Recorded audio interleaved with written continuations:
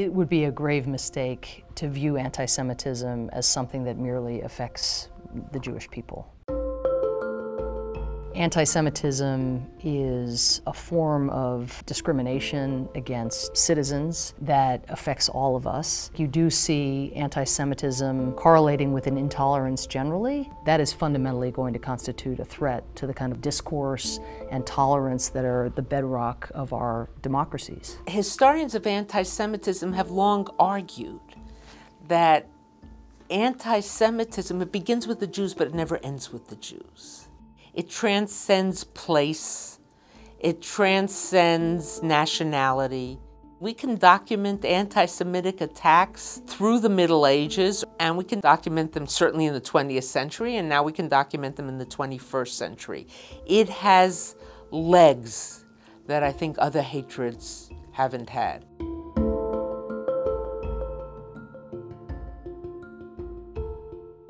Unfortunately, we are facing in Europe, all over Europe, a very strong resurgence of anti-Semitism.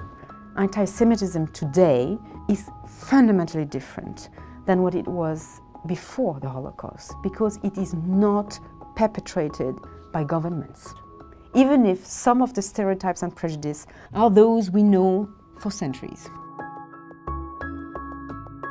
The problem is that in our Muslim communities in Europe, uh, we have a few thousands of radicalized youth. These jihadists are rabidly anti-Semitic. We never know whether they are going to cross the red line of terrorism, and some do. Often their targets are Jewish institutions or Jews. We see across Europe an increase of right-wing extremist parties these parties are not anymore considered as being on the fringe of societies.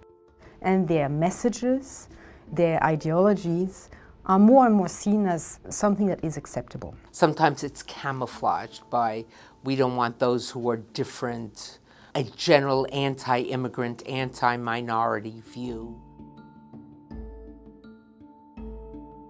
You have as well a new form of anti-Semitism that is closely linked with anti-Zionism and hostility towards Israel. There is legitimate criticism of the policies of Israel, but there is a fine line that some people cross very easily between criticism of Israel and anti-Semitism. Where it gets very problematic is when one starts to hear that the state of Israel doesn't have the right to exist, when one starts to hear Israelis or Israel itself being demonized, and the concerted effort to delegitimate the state and the people.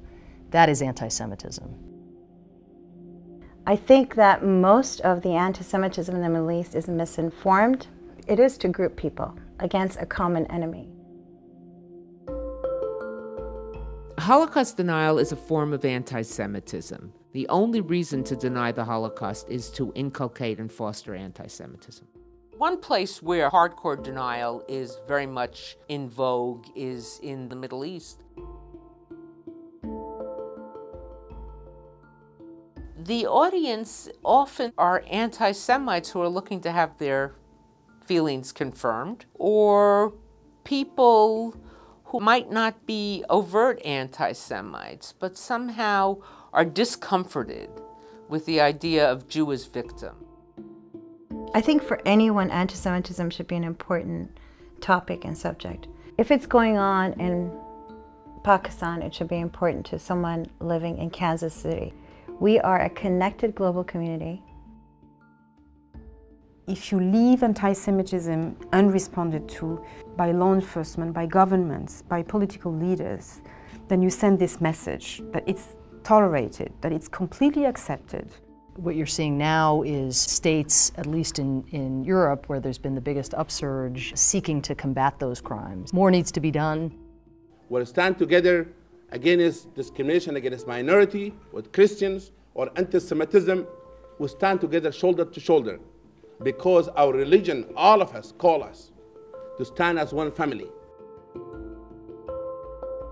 It is extremely important that parts of our society that aren't themselves being targeted by anti Semitism see this as a warning. When anti Semitic discrimination or violent acts happen, it is a threat to liberal society, and citizens around the world have an interest in thwarting it and in speaking out against it.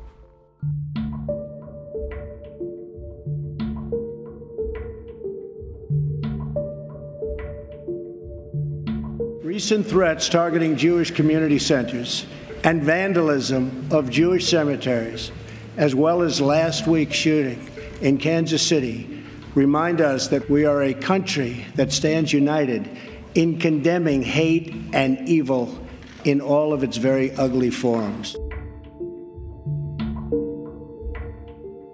There's a well worn tradition in most societies of marginalizing the other.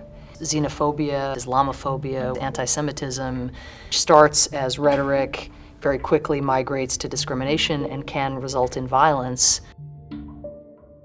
It is extremely important that parts of our society that aren't themselves being targeted by anti Semitism see this as a warning. When anti Semitic discrimination or violent acts happen, it is a threat to liberal society.